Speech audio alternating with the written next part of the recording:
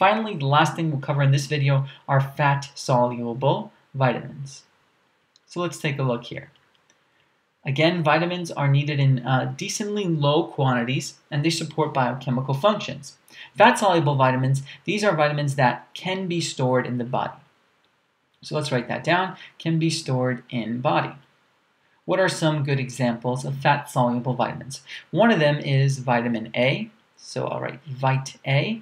Vitamin A is also referred to as retinol, spelled with an O here. We'll see the distinction in just a second. Within the body, it will eventually be converted to its active form, which is retinal. So let me make sure I spelled this right. This is now retinal, spelled with an A. So retinol is the original vitamin A that you consume, that you eat um, within different foods, and then within the body, it's converted to retinal. What's the purpose of this? Retinal is a molecule that is a part of a other another molecule known as rhodopsin.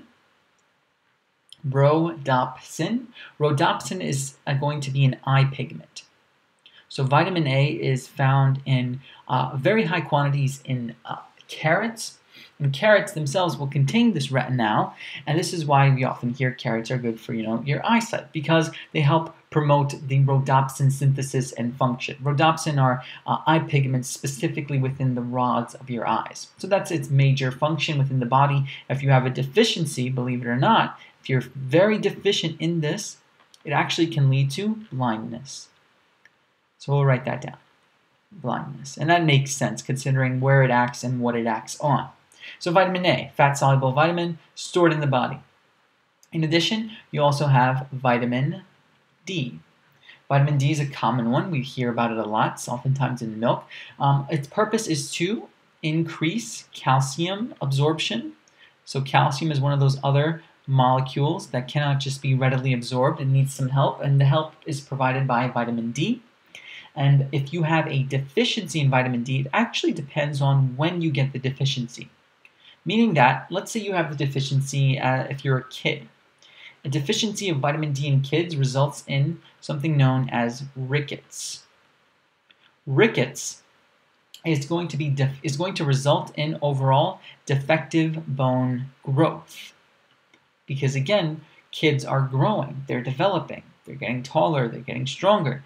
But if you have a deficiency in vitamin D, you have a deficiency in calcium absorption, and we all know calcium plays a big role in bone health, in the uh, bone breakdown and bone buildup, the osteoblasts and osteoclasts. Remember those? Rickets is the term that we give to kids who are deficient in vitamin D that are defective in their overall bone growth. But let's say adults are deficient in vitamin D.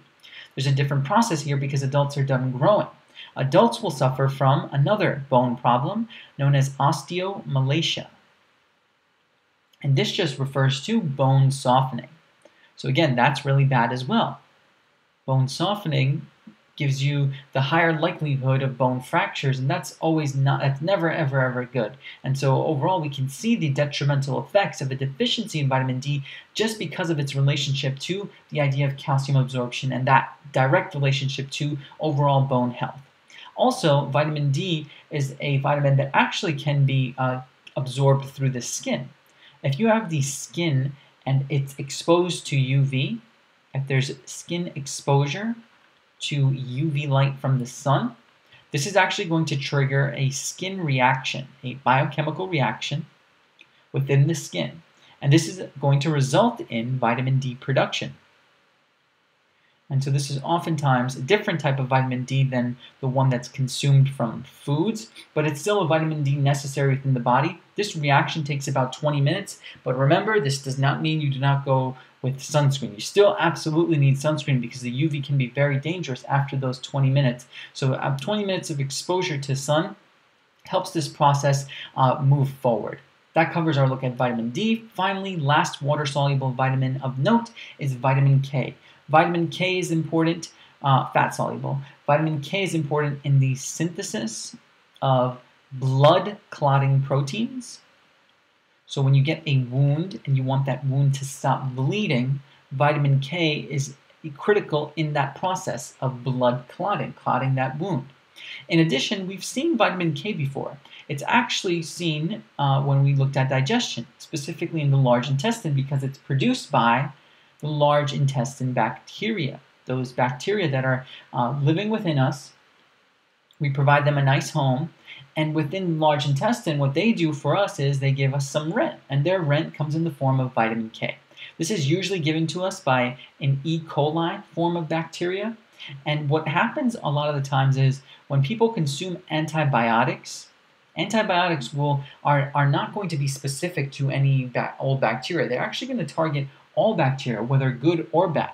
We have good E. coli within our large intestine that provide us with vitamin K. Oftentimes, when you take antibiotics, this lowers the vitamin output. It lowers the overall levels of vitamin K within the body because of the fact that you are getting less production, lowers vitamin K production. Because the E. coli that are doing us good are dying as a result of this antibiotic as well. That's why you always want to follow the antibiotic regimen to a T. You never want to skip a day or do too much in one day because then you can throw off your entire intestinal flora, bacteria that are giving you good stuff just because you're taking this antibiotic incorrectly. That covers our look at vitamins. These are organic compounds. Next, we're going to look at another nutritional need known as minerals, vitamins and minerals. Those are inorganic. We'll take a look in the next flowchart.